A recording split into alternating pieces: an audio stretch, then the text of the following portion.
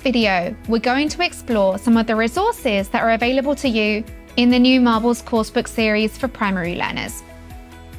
It can be overwhelming when you start using a new coursebook in your classes, as you have to navigate so much unknown material and work out how best to use it with your students. In the next three tips, we'll highlight ways in which you can maximize your use of the resources to support your students' learning and make your classes run as smoothly as possible.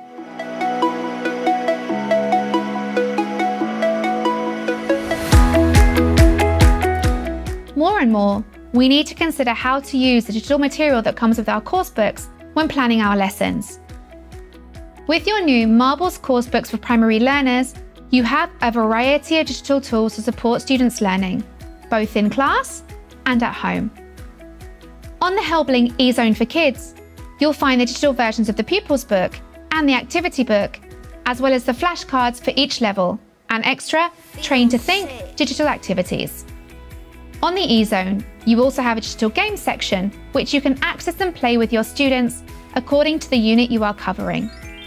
Remember, the digital version of the coursebook is useful, even if you don't have an interactive whiteboard or projector in your classes. Use it to quickly locate the audios for listening tracks and reveal the answers so you don't have to go looking for them in the teacher's book.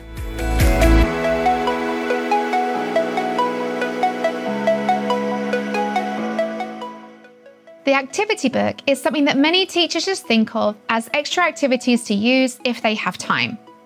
But it's so much more than that and is a resource that you should be using frequently.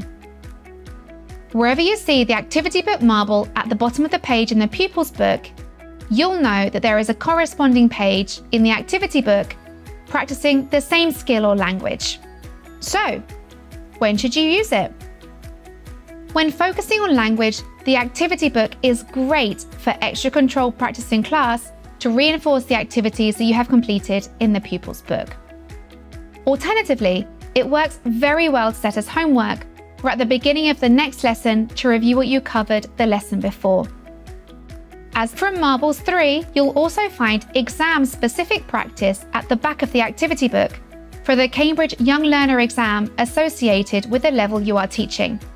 And each unit focuses on a different part of the exam with a handy exam tip to help master that all-important exam technique.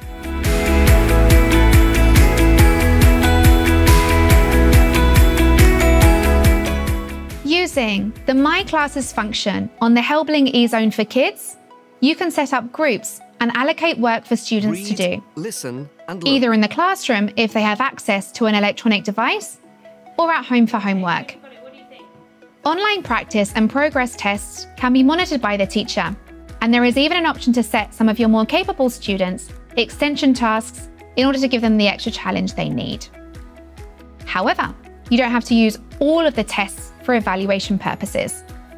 You also have the handy test builder function, which is great for generating extra practice activities for your lessons or homework to reinforce certain language points.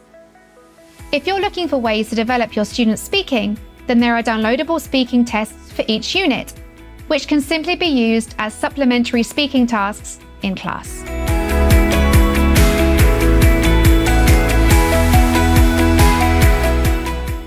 And just like that, we have finished the last in our series of videos on how to use your new Marbles coursebook series for primary learners.